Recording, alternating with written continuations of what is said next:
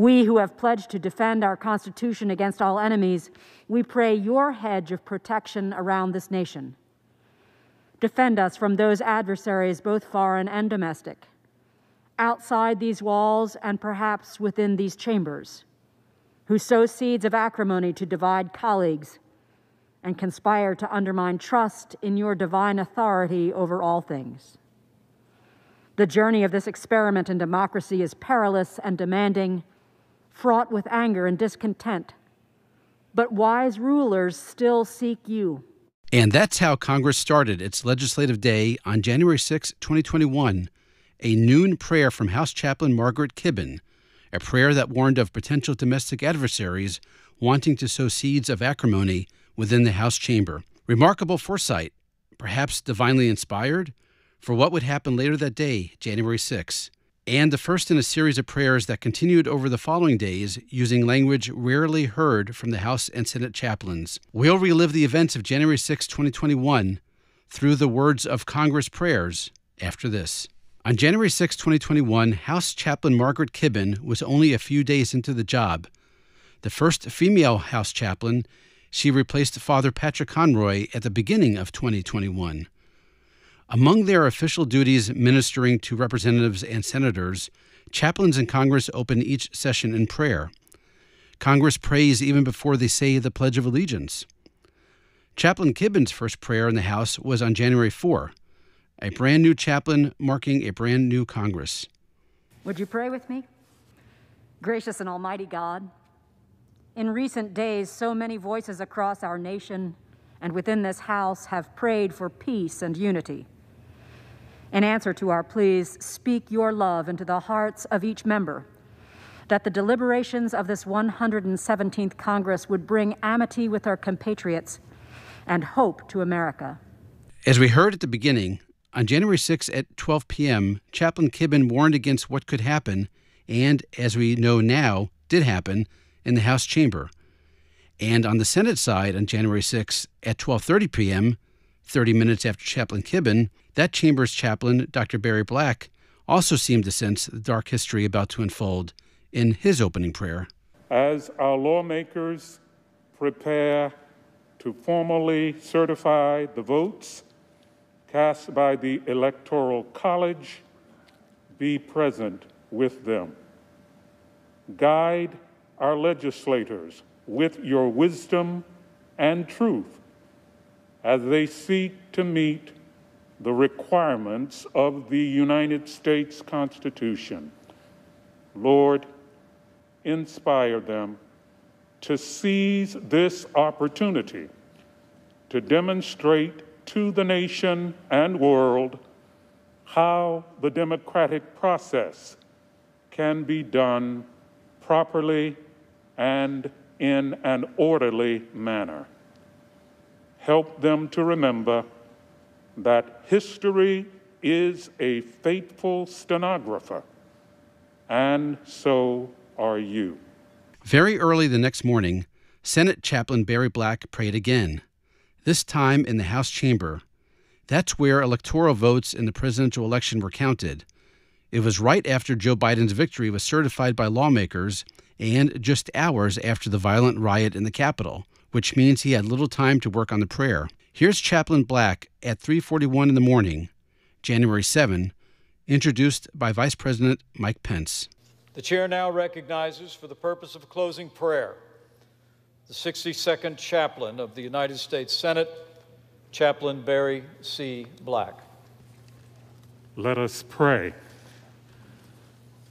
Lord of our lives and sovereign of our beloved nation, we deplore the desecration of the United States Capitol building, the shedding of innocent blood, the loss of life, and the quagmire of dysfunction that threaten our democracy. These tragedies have reminded us that words matter and that the power of life and death is in the tongue.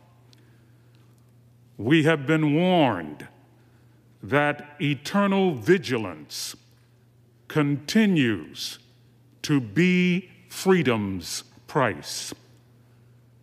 Lord, you have helped us remember that we need to see in each other a common humanity that reflects your image. You have strengthened our resolve to protect and defend the Constitution of the United States against all enemies, domestic as well as foreign. Use us to bring healing and unity to a hurting and divided nation and world. The House next met on January 11th, five days after the attack. Chaplain Kibben began that session with these words Would you pray with me?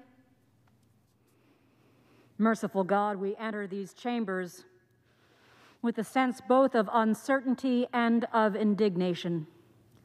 The events of last week, the destruction, the damage, and the deaths of our fellow Americans are deeply disturbing.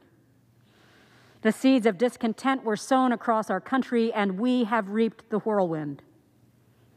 Almighty God, speak into this storm. Allow your Holy Spirit to descend upon the chaos and minister to our hearts. Still our fears that we would remain firm in our resolve. Still our anger that we would yield ourselves to your gracious design for this nation. In Chaplain Kibben's next prayer opening the House on January 13, one week after the attack, a direct mention of the mob. God, our judge, nothing is hidden from your sight. Thus, we stand before you to give account for our role in today's momentous decisions. In our deepest desire to carry out our responsibilities to govern, protect, and preserve this nation, while yet unsettled by the events of this past week, we find ourselves seizing the scales of justice from the jaws of mobocracy. Almighty God, wield your sword and penetrate the confusion and discontent of our country. Lay bare our attitudes of vengeance, that you would show us how to serve as instruments of your pure judgment and peace. After January 6th, the Senate didn't have another legislative session until January 19th, so no opening prayers in that chamber for nearly two weeks. When the Senate returned on January 19, Chaplain Black moved on to the next big topic, which was, the next day, a new president. Let us pray. Eternal God, ruler of all nations, as the inauguration of President elect Joseph Biden approaches.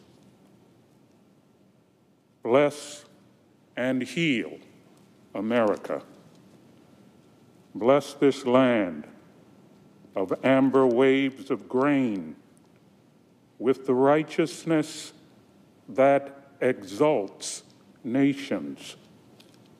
Heal this land of curvaceous mountains by removing from it sins that bring reproach to any people. Finally, a bonus clip.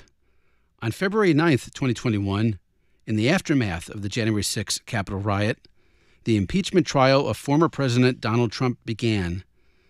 Impeachment trials are conducted in the Senate.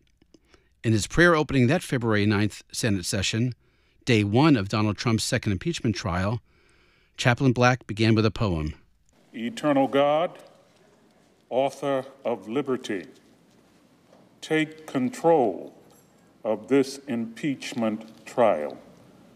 Lord, permit the words of the New England poet James Russell Lowell to provide our Senate jurors with just one perspective. Lowell wrote, Once to every man and nation comes the moment to decide. In the strife of truth with falsehood for the good or evil side.